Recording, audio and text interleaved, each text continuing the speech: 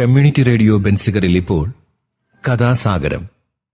അവതരണം ശബ്ദമിശ്രണം ബോണി ജെ ബേസിൽ.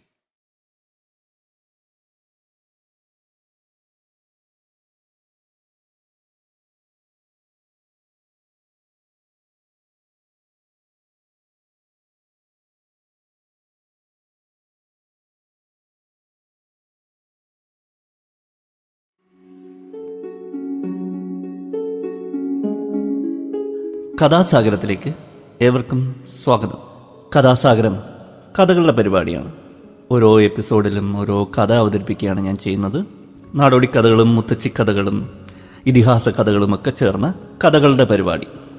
ഇന്ന് ഞാൻ അവതരിപ്പിക്കാൻ പോകുന്നത് ഒരു ബ്രസീലിയൻ നാടോടി കഥയാണ്. അപ്പോൾ നമുക്ക് കഥ കേൾക്കാം. യുഗങ്ങൾക്ക് മുൻപ് നടന്ന കഥയാണിത്. ഇന്ന് നാം കാണുന്ന വരേൻ പുലിക്ക് അക്കാലത്ത് മുതുകത്ത് വരകളുണ്ടായിരുന്നില്ല.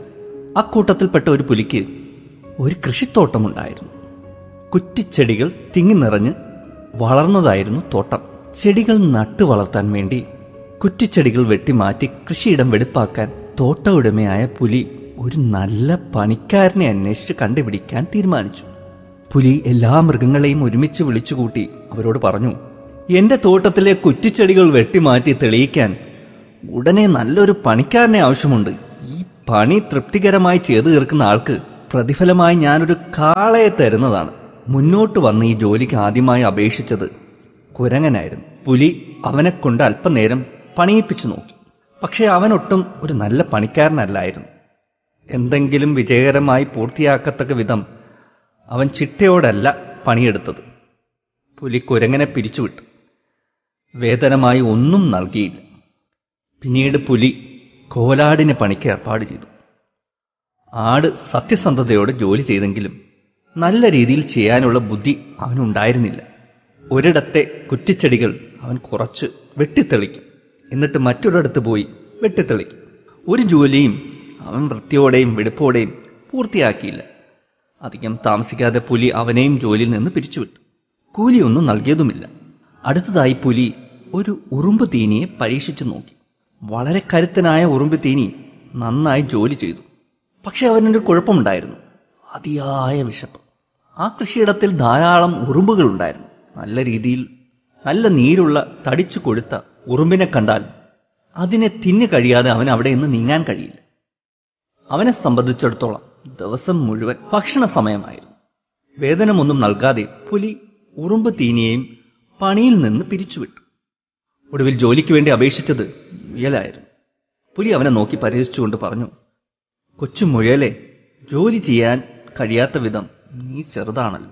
കുരങ്ങനും മാടും ഉറുമ്പ് തീനിയും എല്ലാം എനിക്ക് സംതൃപ്തി നൽകുന്ന വിധം ജോലി ചെയ്യുന്നതിൽ പരാജയപ്പെട്ടിരിക്കുക നിന്നെ പോലെയുള്ള ഒരു കൊച്ചുമൃഗം പരാജയപ്പെടുമെന്ന കാര്യത്തിൽ സംശയമില്ല. എന്നാൽ ഈ ജോലിക്ക് മറ്റ് മൃഗങ്ങളൊന്നും അപേക്ഷകരായി ഉണ്ടായിരുന്നില്ല. അതിനാൽ പുലി മുയലിനെ തന്നെ ജോലിക്ക് വെച്ചു. കുറച്ചു നേരത്തേക്ക് അവനെ പരീക്ഷിച്ച് നോക്കാമെന്ന് പുലി പറഞ്ഞു. മുയൽ സത്യസന്ധതയോടെ നന്നായി പണിയെടുത്തു. താമസിക്കാതെ അവൻ കൃഷിയിടത്തിലെ കുറ്റിച്ചെടിയുടെ വലിയൊരു ഭാഗം വെട്ടിത്തെളിച്ചു. പിറ്റേന്നും അവൻ അത്ര തന്നെ നന്നായി ജോലി ചെയ്തു. മുയലിനെ ഏർപ്പാട് ചെയ്തത് ഭാഗ്യമായെന്ന് പുലി കരുതി. മുയൽ പണിയെടുക്കുന്നത് നിരീക്ഷിച്ച് അവിടെയും ഇവിടെയുമായി തങ്ങുന്നതിൽ അവന് മടുപ്പ് അനുഭവപ്പെട്ടു.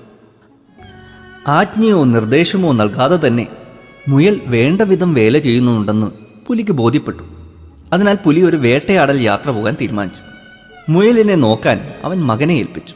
പുലി പോയി കഴിഞ്ഞ ശേഷം മുയൽ പുലിയുടെ മകനോട് പറഞ്ഞു നിന്റെ അച്ഛൻ എനിക്ക് തരാൻ പോകുന്ന കാളയുടെ ഇടത് ചെവിയിൽ ഒരു വെളുത്ത പുള്ളിയും വലതുവശത്ത് മറ്റൊരു പുള്ളിയും അടയാളപ്പെടുത്തിയിട്ടുണ്ട്. ശരിയല്ലേ? അയ്യോ അല്ല പുലിയുടെ മകൻ മറുപടി ചെയ്യും കാളയുടെ ശരീരമാസകലം ചുകപ്പാണ്. അവന്റെ വലത് ചെവിയിൽ ചെറിയൊരു വെളുത്ത പുള്ളി ഉണ്ടെന്ന് മാത്രം. കുറച്ചുകൂടി നേരം മുയൽ പണിയെടുത്തു. പിന്നീട് അവൻ പറഞ്ഞു നിന്റെ അച്ഛൻ എനിക്ക് തരാൻ പോകുന്ന കാളയെ പുഴയ്ക്കരികിലാണ് നിർത്തിയിരിക്കുന്നത്. ശരിയല്ലേ? അതെ പുലിയുടെ മകൻ മറുപടിയേകി തന്റെ ജോലി പൂർത്തിയാക്കാൻ കാത്തു നിൽക്കാതെ പുഴയ്ക്കരികിൽ പോയി കാളയെ കൈക്കലാക്കാൻ മുയൽ പദ്ധതിയിട്ടിരുന്നു. യാത്ര പുറപ്പെടാൻ തുടങ്ങുമ്പോഴേക്കും പുലി തിരിച്ചു വരുന്നത് അവൻ കണ്ടു. താൻ ദൂരെ പോയ സമയത്ത് മുയൽ വളരെ നന്നായി ജോലി ചെയ്തിരുന്നില്ലെന്ന് പുലി ശ്രദ്ധിച്ചു. ഈ സംഭവത്തിന് ശേഷം കൃഷിയിടത്തെ കുറ്റിക്കാടുകൾ മുഴുവൻ വെട്ടിത്തെളിയിക്കുന്നതുവരെ പുലി അവിടെ തന്നെ തങ്ങി മുയലിന്റെ ജോലി നിരീക്ഷിച്ചു. തുടർന്ന് വാക്ക് കൊടുത്തിരുന്നത് പോലെ പുലി കാളയെ മുയലിന് നൽകി. ഈച്ചകളോ കൊതുകുകളോ ഇല്ലാത്തവരിടത്ത് വെച്ച് നീ കാളയെ കൊല്ലണം അവൻ മുയലിനോട് പറഞ്ഞു. മുയൽ കാളയുമായി പോയി. കുറച്ചു ദൂരം പോയ ശേഷം കാളയെ കൊല്ലാൻ അവൻ തീരുമാനിച്ചു. എന്നാൽ അല്പമകലെ ഒരു കോഴി കൂവുന്നത് അവൻ കേട്ടു. സമീപത്തായ ഒരു കൃഷിക്കളം ഉണ്ടായിരിക്കാമെന്ന് അവന് മനസ്സിലായി. തീർച്ചയായും അവിടെ ഈച്ചകൾ ഉണ്ടായിരിക്കും. അവൻ കുറച്ചുകൂടെ ദൂരം പിന്നിട്ടു. അവിടെ വെച്ച് കാളയെ കൊല്ലാമെന്ന് അവൻ കരുതി. നിലം ഈർപ്പമുള്ളതും ചതുപ്പുമായി കാണപ്പെട്ടു. കുറ്റിച്ചെടികളിലെ ഇലകളും നനഞ്ഞിരിക്കുന്നു. അവിടെ കൊതുകുകൾ ഉണ്ടായിരിക്കുമെന്ന് മുയൽ കരുതിയതിനാൽ കാളെ അവിടെ വെച്ച് കൊല്ലേണ്ടെന്ന് മുയൽ തീരുമാനിച്ചു. അവൻ നടത്തം തുടർന്നുകൊണ്ടേയിരുന്നു. ഒടുവിൽ ശക്തമായ കാറ്റ് വീശുന്ന പൊക്കമുള്ള ഒരു സ്ഥലത്ത് അവൻ എത്തിച്ചേർന്നു. ഇവിടെ കൊതുകുകളില്ല അവൻ തന്നെത്താൻ പറഞ്ഞു. ഈ സ്ഥലം ജനവാസമുള്ളതല്ല അതിനാൽ കൊതുകുകളും ഉണ്ടാവില്ല. അവൻ കാളയെ കൊല്ലാൻ തന്നെ തീരുമാനിച്ചു. കാളയെ തിന്നാൻ മുയൽ തയ്യാറെടുപ്പ് നടത്തുമ്പോഴേക്കും പുലി അവിടെ എത്തി. അല്ലയോ മുയലെ നീ എന്റെ നല്ലൊരു സുഹൃത്താണല്ലോ പുലി പറഞ്ഞു. ഞാനിപ്പോൾ വല്ലാത്ത പട്ടിണിയിലാണ്. ഇതാ എന്റെ വാരിയെല്ലുകൾ എഴുന്നു നിൽക്കുന്നത് നിനക്ക് തന്നെ കാണാമല്ലോ. നീ ഒരു നല്ല മുയൽക്കുട്ടനായി. ഒരു തുണ്ട് കാളയിറച്ചി തരില്ലേ? മുയൽ പുലിക്ക് ഒരു ക്ഷണം കാളയിറച്ചി കൊടുത്തു. കണ്ണടച്ച് തുറക്കും മുമ്പ് പുലി അത് ആർത്തിയോടെ അകത്താക്കി. എന്നിട്ട് പിറകിലേക്ക് ആഞ്ഞുകൊണ്ട് അവൻ പറഞ്ഞു എനിക്ക് നീ തിന്നാൻ തരാൻ പോകുന്നത് ഇത്രമാത്രമാണോ? പുലി വളരെ വലിയതും ക്രൂരനുമായി കാണപ്പെട്ടു. അതിനാൽ കാള ഇറച്ചിയിൽ നിന്ന് ഇനിയും കുറച്ചുകൂടി കൊടുക്കാതിരിക്കാൻ മുയൽ ധൈര്യപ്പെട്ടില്ല. പുലി തിന്നു തിന്ന് ഒടുവിൽ കാളയും ആർത്തിയോടെ തിന്നു തീർത്തു. പുലി വളരെ വലിയതും ക്രൂരനുമായി കാണപ്പെട്ടു. അതിനാൽ കാള ഇറച്ചിയിൽ നിന്ന് ഇനിയും കുറച്ച് കൊടുക്കാതിരിക്കാൻ മുയൽ ധൈര്യപ്പെട്ടില്ല.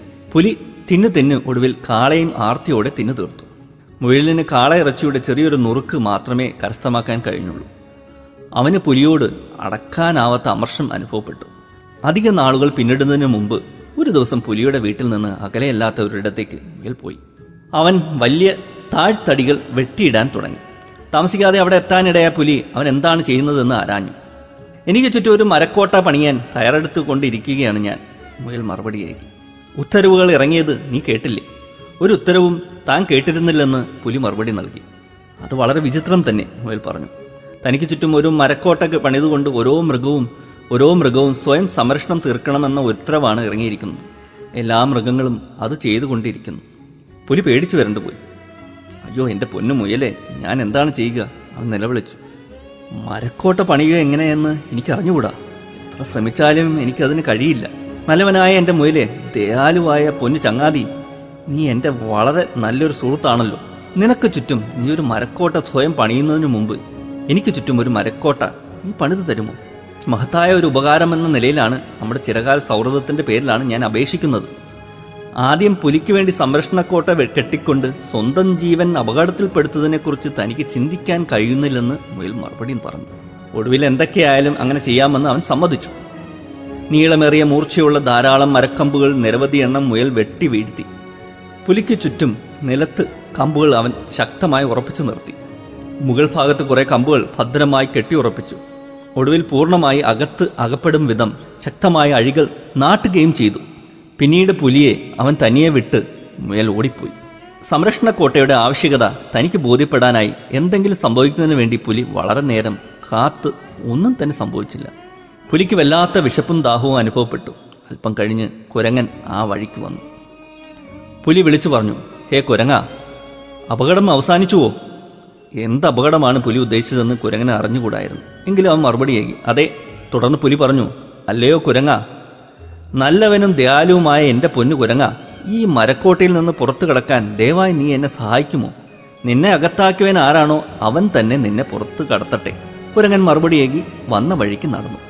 ആടും ആ വഴിക്ക് വന്നു. പുലി വിളിച്ചു കൂവി അല്ലയോ ആടെ അപകടം അവസാനിച്ചുവോ?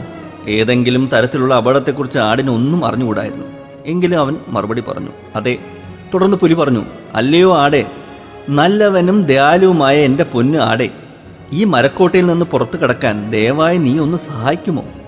നിന്നെ അകത്താക്കിയവൻ ആരാണോ അവൻ തന്നെ നിന്നെ പുറത്തു കടത്തട്ടെ.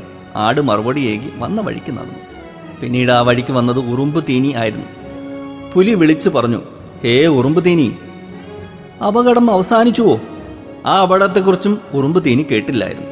എങ്കിലും അപകടം അവസാനിച്ചുവെന്ന് അവൻ ഉത്തരമേക്കി തുടർന്ന് പുലി പറഞ്ഞു അല്ലയോ ഉറുമ്പു തേനി നല്ലവനും ദയാലുവുമായ എന്റെ പൊന്നു ഉറുമ്പു തേനി ഈ മരക്കോട്ടയിൽ നിന്ന് പുറത്തു കടക്കാൻ ദയവായി നീ ഒന്ന് സഹായിക്കുമോ? നീ എന്റെ നല്ലൊരു സുഹൃത്തും അയൽക്കാരനുമാണല്ലോ കനിവുണ്ടാകണം. നിന്നെ അകത്താക്കിയവൻ ആരാണോ അവൻ തന്നെ നിന്നെ പുറത്തു കടത്തട്ടെ. ഉറുമ്പു തേനി മറുപടി ഏകി വന്ന വഴിക്ക് നടന്നു. പുലി തന്റെ സർവശക്തിയും ഉപയോഗിച്ച് മരക്കോട്ടയുടെ മുകൾ ഭാഗത്തേക്ക് ചാടി വീണ്ടും ചാടി പക്ഷെ അവൻ അത് തകർത്ത് പുറത്തു കടക്കാൻ കഴിഞ്ഞില്ല. മരക്കോട്ടയുടെ മുൻവശത്തേക്ക് തന്റെ എല്ലാ കരുത്തും പ്രയോഗിച്ച് അവൻ ചാടി. പിന്നെയും ചാടി. പിന്നെയും പിന്നെയും ചാടി. എന്നിട്ടും പുറത്തു കടക്കാൻ കഴിഞ്ഞില്ല. ജീവിതത്തിൽ ഇനി ഒരിക്കലും തനിക്കതിന് കഴിയുകയില്ലെന്ന് പുലി കരുതി. അല്പനേരം അവൻ വിശ്രമിച്ചു. വിശ്രമിക്കവേ അവൻ ചിന്തിച്ചു.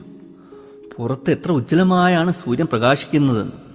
കാട്ടിൽ എന്ത് നല്ല വേട്ടയാടലാണ് നടക്കുന്നതെന്ന് അവൻ ചിന്തിച്ചു. ഉറവയിലെ വെള്ളത്തിന് എത്രയേറെ കുളിർമയാണുള്ളതെന്ന് അവൻ ചിന്തിച്ചു. ഒരിക്കൽ കൂടി അവൻ ചാടി. സർവശക്തിയും എടുത്ത് കോട്ടയുടെ പിൻവശത്തേക്ക് അവൻ ചാടി.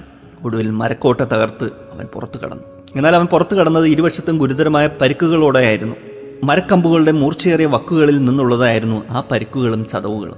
അവ ഉണങ്ങി ഭേദമായ അടയാളങ്ങളാണ് വരയൻ പുലിയുടെ ഇരുവശത്തും ഇന്ന് നാം കാണുന്ന വരകൾ. എങ്ങനെയുണ്ട് ഇന്നത്തെ കഥ? എല്ലാവർക്കും കഥ ഇഷ്ടപ്പെട്ടെന്ന് വിശ്വസിക്കുന്നു. ഒരിക്കൽ കൂടി ഓർമ്മപ്പെടുത്തുകയാണ് ഞാനിവിടെ അവതരിപ്പിച്ചത് ഒരു ബ്രസീലിയൻ നാടോടി കഥയാണ് അടുത്ത എപ്പിസോഡിൽ വീണ്ടും നല്ലൊരു കഥയുമായി ഞാൻ എത്തുന്നതാണ്. അതുവരെ എല്ലാവർക്കും ഗുഡ് ബൈ.